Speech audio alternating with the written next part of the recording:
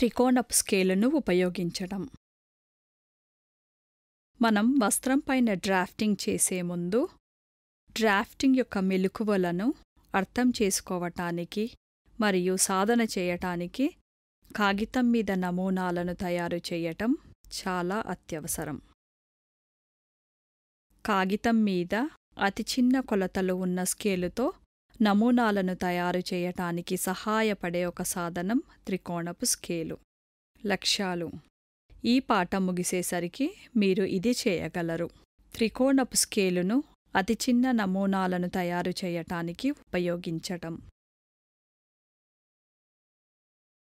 నమూనా యొక్క అసలు కొలతను సూచించటానికి అతి చిన్న కొలతలు ఉన్న స్కేలుతో నమూనాలను గీయటానికి ప్రత్యేకంగా రూపొందించిన ఒక సాధనం త్రికోణపు స్కేలు.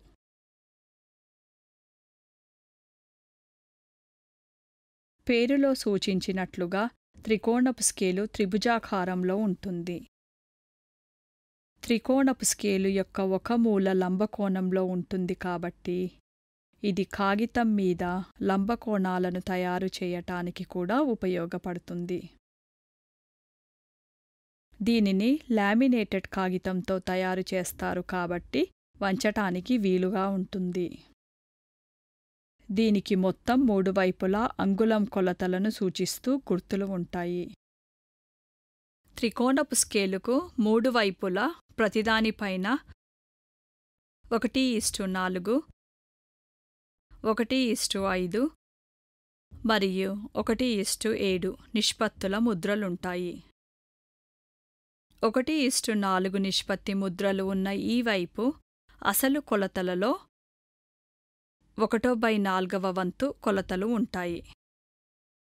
మీరు ఇక్కడ చూస్తున్నట్లుగా త్రికోణపు స్కేలు పక్కకు ఒకటి ఈస్టు నాలుగు నిష్పత్తితో గీసిన నాలుగు గుర్తులు కొలత టేపు మీద ఒక అంగుళానికి సమానంగా ఉంటాయి.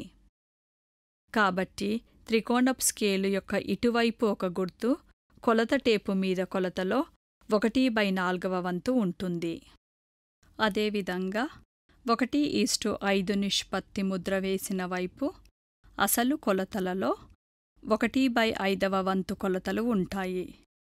మీరు ఇక్కడ చూస్తున్నట్లుగా త్రికోణపు స్కేలు పక్కకు ఒకటి ఈస్టు ఏడు నిష్పత్తితో గీసిన ఐదు గుర్తులు ఒక అంగుళానికి కొలత టేపు మీద సమానంగా ఉంటాయి. అలాగే త్రికోణపు స్కేలు యొక్క ఇటువైపు ప్రతి ఒక్క గుర్తు కొలత టేపు మీద కొలతలలో ఒకటి బై ఐదవ వంతు ఉంటుంది. అదేవిధంగా ఒకటి ఈస్టు ఏడు నిష్పత్తి ముద్ర వేసిన వైపు అసలు కొలతలలో ఒకటి బై ఏడవ వంతు కొలతలు ఉంటాయి.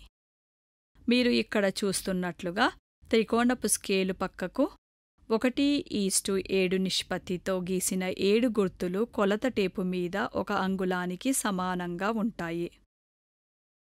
అలాగే త్రికోణపు స్కేలు యొక్క ఇటువైపు ప్రతి ఒక్క గుర్తు కొలత టేపు మీద కొలతలలో ఒకటి బై ఏడవ వంతు ఉంటుంది.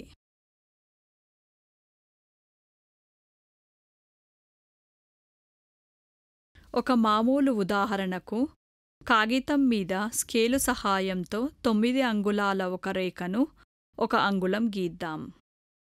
కొలత టేపుతో తొమ్మిది అంగుళాలు ఉండేలా నిర్ధారించుకోండి. ఇప్పుడు మనం త్రికోణపు స్కేలు సహాయంతో మూడు విభిన్న స్కేలులపైన గీతలను గీద్దాం. మొదట మనం ఒకటి ఇస్టు నాలుగు నిష్పత్తి స్కేలు పైన తొమ్మిది అంగుళాల ఒక గీతను గీద్దాం.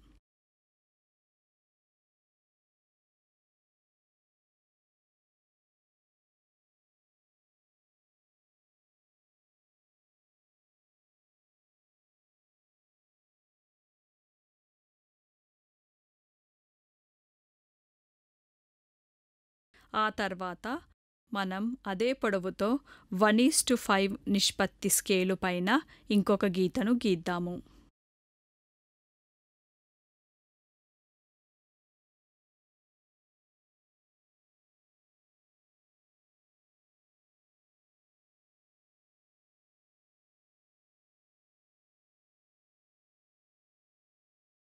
చివరగా మనం అదే పొడవుతో ఒకటి ఈస్టు ఏడు నిష్పత్తి స్కేలు పైన ఇంకొక గీతను గీద్దాము.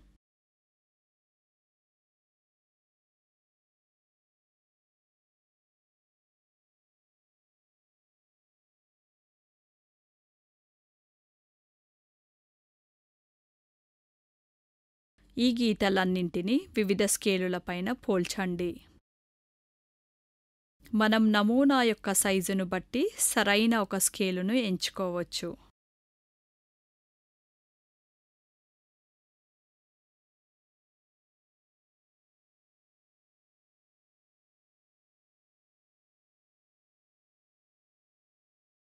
ఇక్కడ మీరు చూస్తున్నట్లుగా ఆరు భాగాలు ఉన్న చీర యొక్క పెటికోట్ యొక్క ఈ నమూనాను ఒకటి ఈస్టు ఏడు స్కేలు పైన తయారు చేశారు.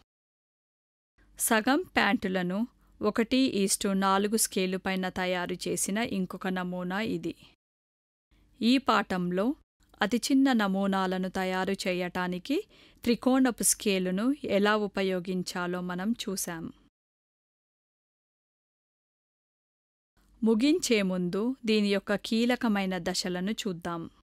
త్రికోణపు స్కేలును అతి చిన్న కొలతలు ఉన్న స్కేలు పైన నమూనాలకు తయారు చేయటానికి ఉపయోగిస్తారు. దీనికి మూడు వైపులలో ప్రతి ఒక్క దానిపైన ఒకటి ఈస్టు నాలుగు ఒకటి ఈస్టు ఐదు మరియు ఒకటి ఈస్టు ఏడు నిష్పత్తుల నమూనాలను తయారు చేయటానికి కావలసిన ఆ స్కేలు ముద్రలు గీసి ఉంటాయి. దీనితో మనం ఈ పాఠం ముగింపుకు చేరుకున్నాం.